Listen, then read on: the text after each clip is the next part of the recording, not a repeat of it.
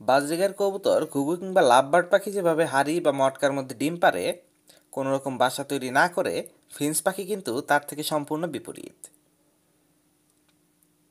ফিন্স ডিম পাড়ার পূর্ব থেকেই তাদের বাসা তৈরি করে। এই ভিডিওতে আমি আপনাদের দেখাবো ডিম পাড়াতে আপনার ফিন্স পাখিকে কি কি উপকরণ দিবেন এবং কোন কোন উপকরণ দিয়ে তাদের বাসা তৈরি করতে হয়। কারণ আপনি যদি আপনার পাখিকে সঠিক উপকরণ দিতে না পারেন আর তারা যদি বাসা তৈরি করতে না পারে, তবে ডিম বাচ্চা উৎপাদনও করতে পারবে না। তো আসুন শুরু করি। দেখুন, এই পাখিটা কিন্তু মুখে করে কিছু খড়কুটো নিয়ে বারবার ওদের যে ডিম পাড়ার জায়গাটা, সেখানে জড়ো করার চেষ্টা করছে। ও অলরেডি এখানে তিনটা ডিম দিয়েছে। এই ডিমগুলোর বাসাটাকে আরও পোক্ত করতে সে কিছু বিল্ডিং ম্যাটেরিয়াল বা বাসা তৈরির উপকরণ সংগ্রহ করছে।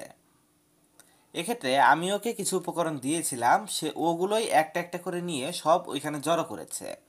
এখন আমি আপনাদের দেখাবো আপনি কি কি উপকরণ ওদের জন্য ব্যবহার করতে পারেন আর কোন উপকরণগুলো দিলে ওরা সুন্দরভাবে ওদের মতো করে বাসাটা তৈরি করে নিতে পারবে।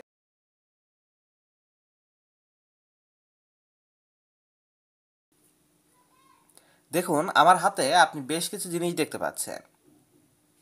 এগুলো আমি আমার এই পাখিগুলোর খাঁচায় দিচ্ছি।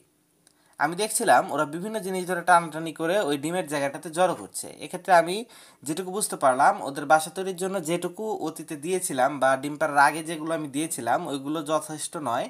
ওদের আরও নতুন অনেক উপকরণের প্রয়োজন। তাই আমি ওদের কিছু শুকনো ঘাস দিয়েছি।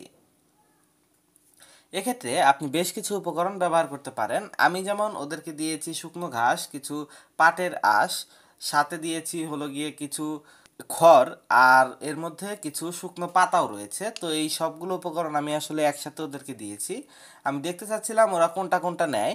তো আমি যেটুকু দেখলাম, ওরা একটা একটা করে সবগুলোই নিয়ে ওই জায়গাটাতে জড়ো করার চেষ্টা করছে।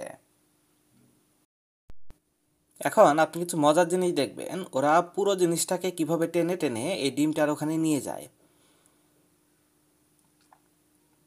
দেখুন আরও একটা পাতা নিয়ে আসলো, একটা ছোট ডাল নিয়ে আসলো, তো এবারে আবার চলে গেল জিনিসগুলো সংগ্রহ করতে। আসলে অনেক বেশি পরিশ্রম করছে ওরা এই খাবার জিনিসগুলো রেডি করতে আর কি বাচ্চার জন্য।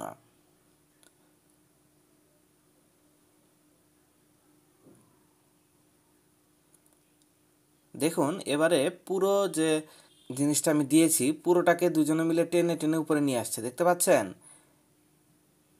পুরো ঘাসের যে শুকনো অংশটা ছিল, এটা সম্পূর্ণটাকেই ও কিন্তু নিয়ে এখানে এনে সেট করল।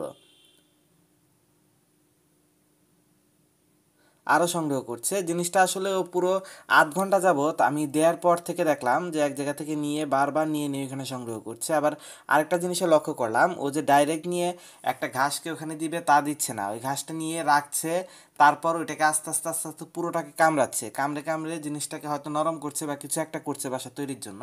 এরকমটা করে তারপর ওই জায়গা থেকে সরছে। মানে একটা ঘাসের খণ্ড বা খড়কুটো নিচ্ছে নেওয়ার পর সেটাকে কামড়ে কামড়ে নরম করছে, তারপর গোল করে রাখছে, এরকম অনেক কিছু করতে দেখছি আমি ওকে।